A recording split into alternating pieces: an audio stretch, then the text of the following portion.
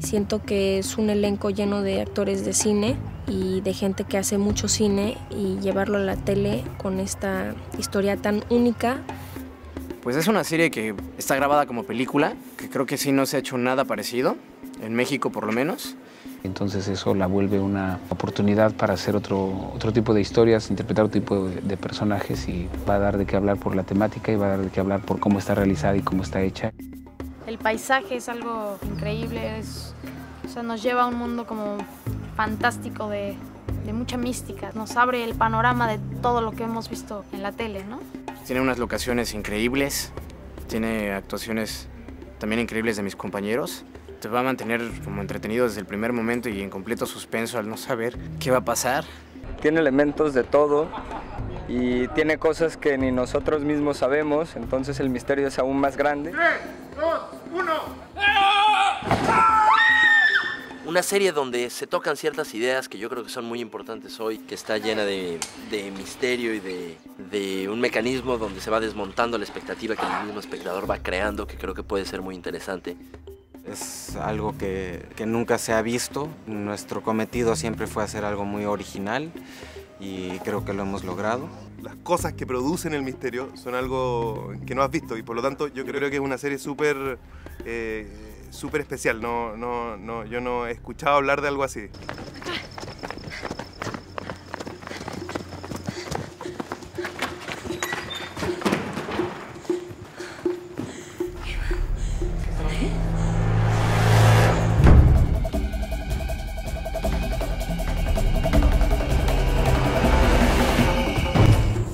Aquí nadie se enferma. Nunca.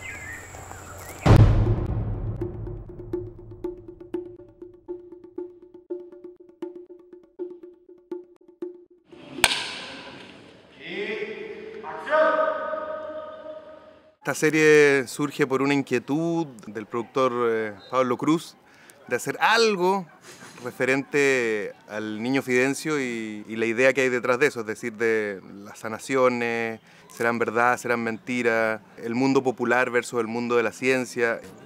Vivía en un pueblo muy pequeño que se llamaba Espinazo, de 2.000 habitantes y en el apogeo de su popularidad habían 40.000 personas esperándolo, a que lo sane, esperando a verlo.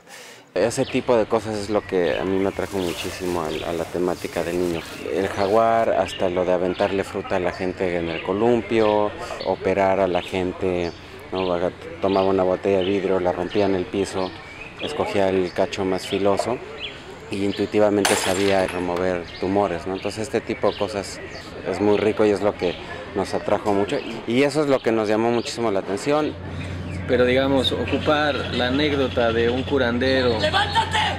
en la vida contemporánea de cualquier persona, pues creo que es interesante. Esta dualidad entre la medicina y, y, la no medicina y los tratamientos alternativos y todas estas locuras que hoy nos visitan en estas épocas de la vida humana, creo, creo que necesitan una reflexión. Y digo, nuestro niño está completamente basado en el niño Fidencio, pero es un, una creación de, de nuestra ima imaginación, tomando como ciertos rasgos físicos, como rareza y rasgos de personalidad del niño, es como nosotros formamos el nuestro que a la vez está muy divorciado de lo que realmente como era el niño.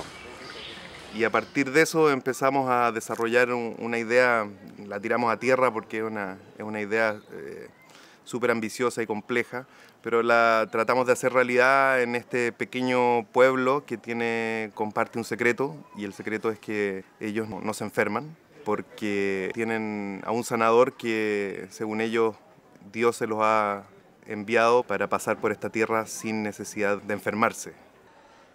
Alrededor de él se ha organizado un poco el pueblo y alrededor de él se ha construido como esta especie de civilización escondida de, del mundo exterior, digamos. Y entonces el niño funciona como eso, como la encarnación absoluta del poder y funciona como el sentido de la vida de este pueblo, ¿no? Este pueblo vive de alguna manera en relación a los deseos del niño y en lo que él dice que Dios dice, digamos, ¿no? Es el, el medio mediante el cual Dios expresa sus deseos en la tierra. Entonces, esto le confiere, pues, evidentemente, un poder sin límites, porque él, él es la palabra de Dios. Los doctores ¿Qué vamos a hacer con ellos? Dios Padre decidirá a través del niño.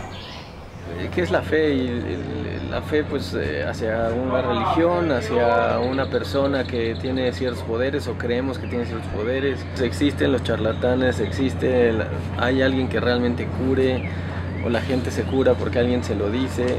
Este, este, mundo como del no saber bien si el niño Fidencio tenía poderes, si nuestro niño tiene poderes, es un poco el tema central de esta serie y, y cómo tres doctores normales, digamos, de nuestra parte del mundo, analizan eso y las aventuras en las que se meten.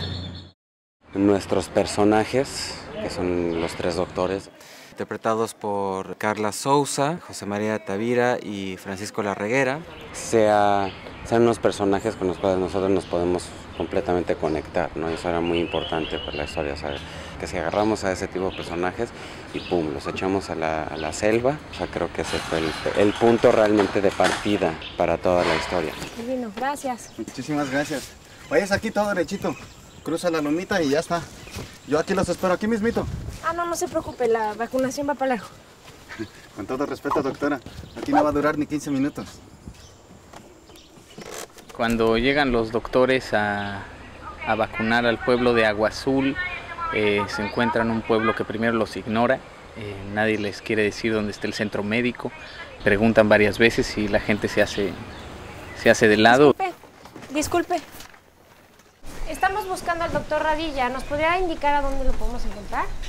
La gente no quiere la medicina, no quiere a los extranjeros y sin embargo su necedad o altruismo y lealtad a querer ayudar a la gente la lleva de un desastre a otro y a otro. La gente no nos saluda, no nos dice nada, nos preguntamos qué pasa. Encontramos un centro de salud que está en condiciones pésimas. Hace mucho tiempo que no tienen unos forasteros de este tipo en su pueblo y, y pues lo que se siente es el rechazo total a cualquiera que venga a, a querer tener alguna actividad con ellos. Buenos días, venimos de la Organización Mundial de la Salud. Este pueblo creen que, pues no creen, tienen una fe muy grande en, en, algo que nosotros no conocemos y que lo sana milagrosamente, pero pues nosotros somos muy escépticos a eso porque toda nuestra educación ha estado basada en, pues en un régimen de, de medicina. O sea, si estás mal, entonces te tomas esto y te mejoras. No hay nada sobrenatural que esté involucrando en la sanación de una persona. La medicina occidental alópata es para ellos veneno. ¿Qué les pasa? Venimos a traerles medicinas, cabrones. ¿Lo oyeron? Vinieron a intoxicarnos con su veneno. Él mismo lo dijo. Hay gente que tiene fe en que una persona eh, pueda tener dones de curación y hay gente, la gente de ciencia, que, que simplemente eso no lo, no lo concibe como serio y como racional. Para mí la temática tiene que ver con el creer o no creer y están las dos posturas. Es como un camino a descubrir quién, tal vez quién tiene la verdad. Y por otro lado, ¿qué, qué es la fe? La fe en la ciencia, la fe en lo desconocido, en, en el simplemente creo. Todos estos dos mundos que continuamente están aparentemente peleando, pero que finalmente llegan a la misma conclusión, que es este, la búsqueda de la verdad. ¡Ya, ven por el doctor! y cómo esta serie nos abre horizontes que nos llevan a, a, realmente dudar de la ciencia, que muchas veces cree que tiene la razón en todo, pero a final de cuentas nos vemos muchas veces obligados a, a creer en algo más. Piensa, ¿sí? si esta agua contiene algún compuesto medicinal poderoso, desconocido. ¿No es el agua la que cura, Farca? Entonces, ¿qué es el Espíritu Santo? No, no te dejes engañar, Damián. Obviamente las locaciones y el setting que tenemos nos da muchísima riqueza este, visual y un valor de producción altísimo y pues se nos hizo muy interesante, nos encantó la parte de las lanchas, perdidos en la selva, el campamento en este ojo de agua, pues se nos hace visualmente mucho más rico y la verdad queríamos evitar un poco lo que siempre se, se retrata o hemos ya visto retratado mucho en el cine y en la televisión. ¿no? me interesó mucho el approach que le querían dar los, los creadores, que era como pues, venir a filmarlo, pero muy como en, en, una onda muy de realismo. La estética surge de los guiones 100%, o sea, estuvimos hablando con Mauricio, Pedro, Pablo Cruz y todos. Y pues con la idea de siempre ilustrar los guiones al, al máximo posible, ¿no? Dentro de eso hay varios mundos, está el mundo del campamento, que es como más oscuro y más angular, el mundo del pueblo, que es un poco más luminoso y más este, abierto, pero al mismo tiempo con lentes más telefoto. Pero tuvo que haber usado alguna medicina o una planta de la región. Tiene que haber una explicación. No hay ninguna otra, al menos no para ti ni para mí. El 90% de algo depende de esa primera cosa que te lanza para adelante, que es la historia. Y aquí tenemos un muy buen guion. Donde la ciencia termina, empieza la fe. Donde la medicina no logra su objetivo, es donde entra la fe y lleva mm, varias preguntas al espectador sobre los milagros. ¿Existirán los milagros o no? Con una propuesta visual que creo que va a ser muy llamativa, con una, con una narrativa que creo que puede ser interesante para el espectador como, como descubrir y, y sobre todo con un principio de realidad muy alejado a lo que nos tiene acostumbrada la televisión. Una historia que no se ha abordado de esta manera y realizada con tanta dedicación, con tanto esfuerzo, con muchísimo amor. Que sí se vea diferente, que se sienta diferente, que la gente cuando le esté cambiando a la tele diga, ¿qué es esto? Y con un objetivo de que la gente se meta en la historia y se absorba en este mundo de, del niño, ¿no? El espectador puede esperar siempre estar adivinando qué es lo que acaba de pasar, por qué acaba de pasar, hacia dónde va y este, siempre estar haciéndose preguntas, contestando esas preguntas con otras preguntas. Sí es un misterio que, a pesar de que sí es muy misterioso, es posible de dilucidar. Hay que ponerle cabeza y hay que ponerle atención. ¡Vámonos!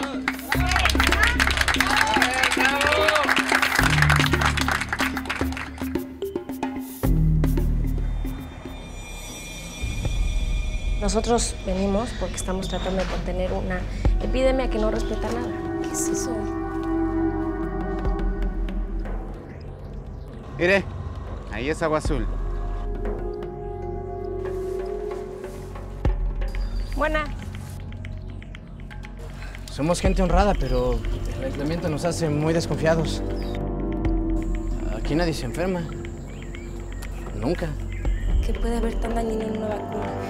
¿No puede comprender que hay lugares tocados por la mano del Señor? En esos lugares la medicina es enemiga porque es contraria a nuestra sanación espiritual. Vinieron a intoxicarnos con su veneno. Esa mujer dijo que un niño les ordenó que los aventaran de frutazos. Es absurdo. Los doctores son misioneros del infortunio. ¿De ver lo que logró, doctora? ¿De ver lo que logró con su soberbia? Ahorita somos los únicos que les podemos ayudar. ¿Quiere ayudar? Sí. Parece. ¿Dónde estamos?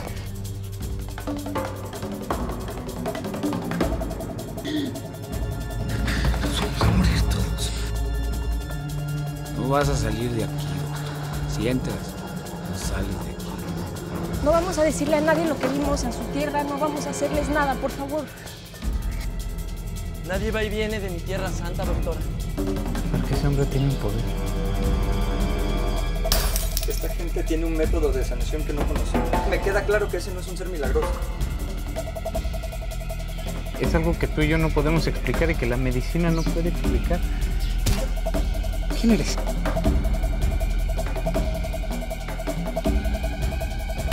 ¿Qué vamos a hacer ahora? ¿Escapar? Recen, hermanos. Recen como fiel pueblo que son del Niño Santo.